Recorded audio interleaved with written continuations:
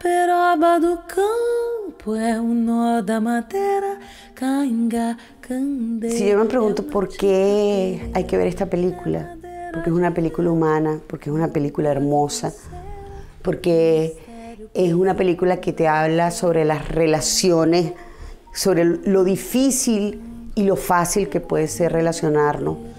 Es una película que tiene un paisaje maravilloso, es una película que cuenta con un equipo extraordinario, es una película que tiene un hermoso guion, una hermosa dirección.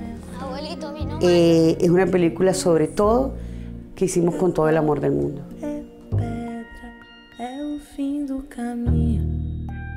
Promessa de vida no teu coração.